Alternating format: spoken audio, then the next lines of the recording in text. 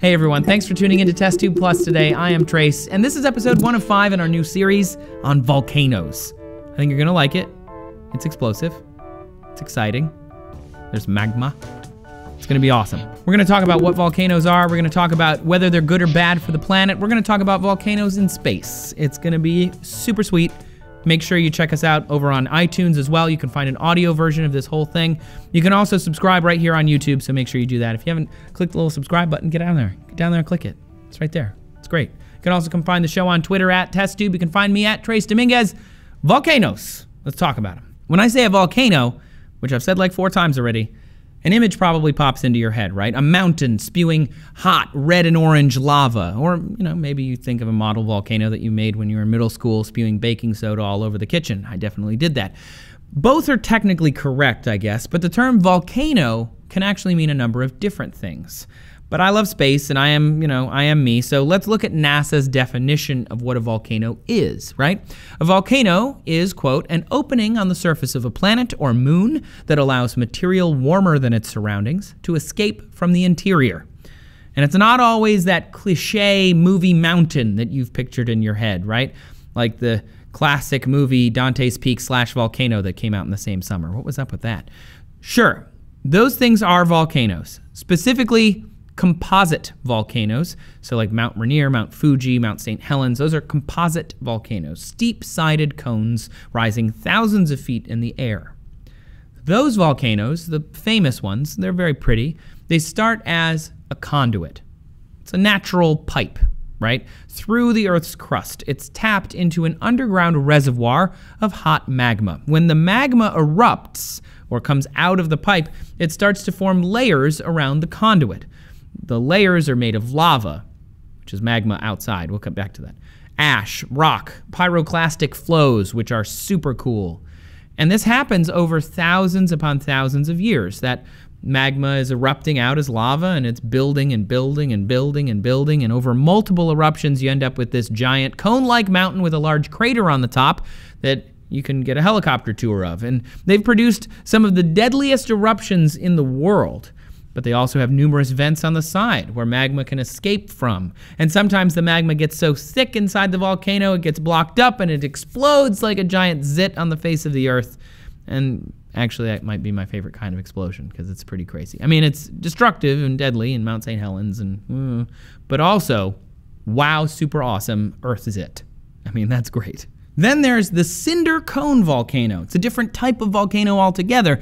It's similar to a composite volcano, but instead of a mountain, it's more like a hill, like little hills. And like the name says, it's, you know, it's cone shaped, cinder cone volcano, but it's more rounded than the composite versions. The eruption comes from a single vent just at the top.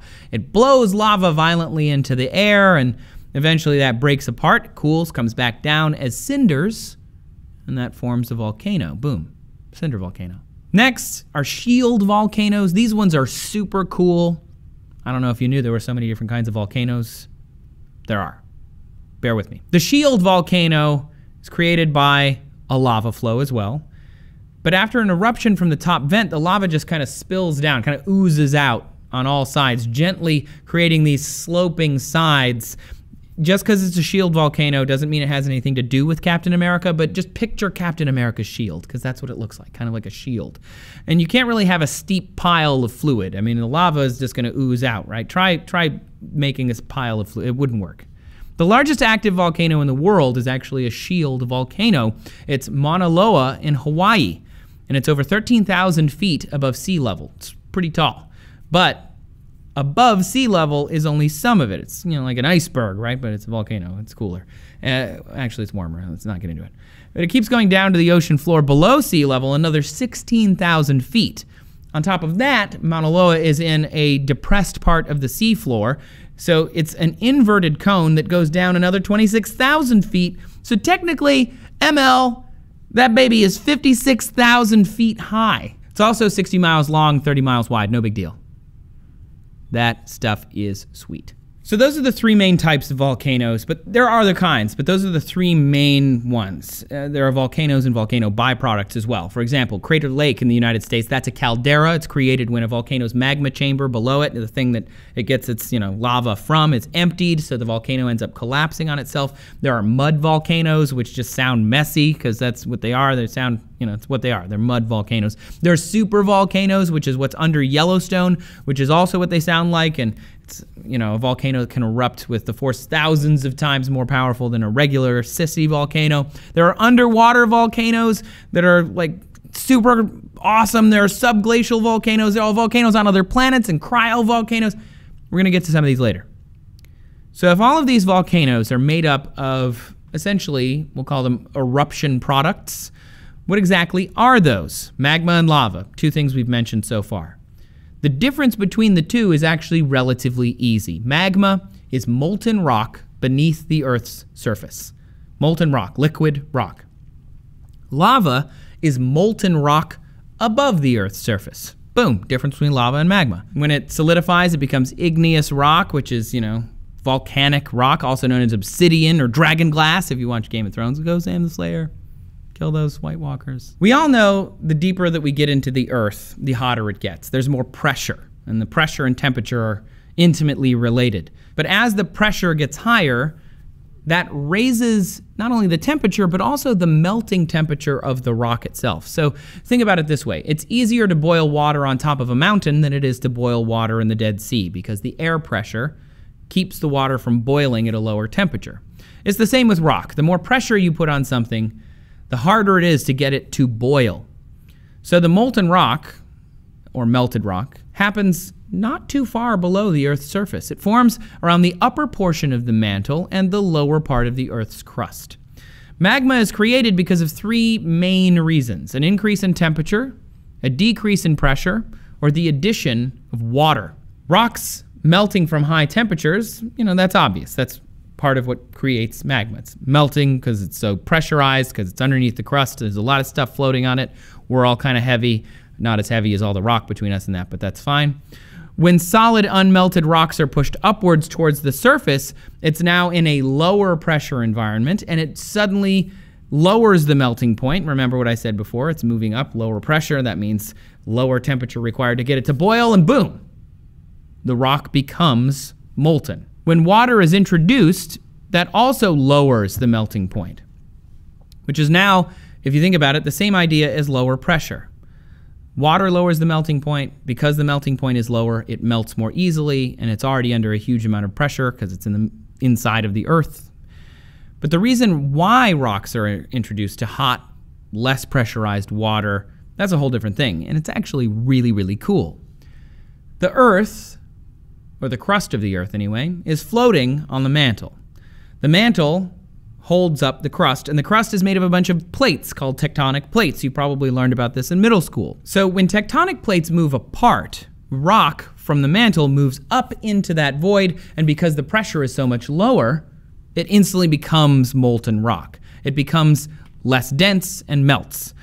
Or sometimes tectonic plates crash together creating friction and extra heat. That can also cause that, again, pressure and temperature. And when two tectonic plates collide, there's another force involved, and that's the ocean. If an oceanic plate hits a continental plate, the oceanic plate will go underneath it, creating a subduction zone, introducing water into the solid rock and lowering its temperature, but they're still under a lot of pressure, so boom, again, magma. Course, all of this stuff super simplified and if it sounds complicated, it's because it's really, really complicated. And producer Brian had a huge problem trying to figure all this out. So thank you so much. You can tweet at him if it's wrong because it was all on him. I take no part of that. but he had a huge problem getting all of this information. So hopefully we got it right.